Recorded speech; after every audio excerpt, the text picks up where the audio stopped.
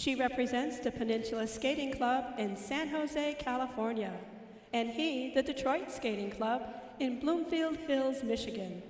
Please welcome to the ice Katarina Wolfkostin and Howard Zhao.